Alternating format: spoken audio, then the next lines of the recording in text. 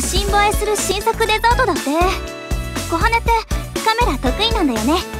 スマホのカメラでも綺麗に撮る方法とか知ってる？えっと光の当て方とか角度とか撮る時のコツなら教えてあげられると思う。